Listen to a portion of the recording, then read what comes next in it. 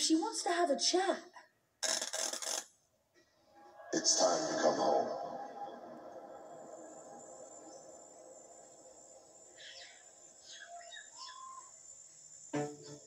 The house is your foundation. We've seen the rebirth.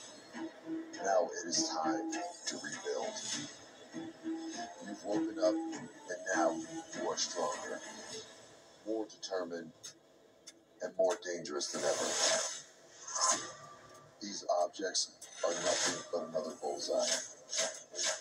You are the princess of the Black Throne,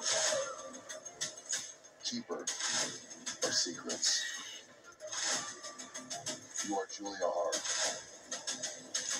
and your heart grows harder.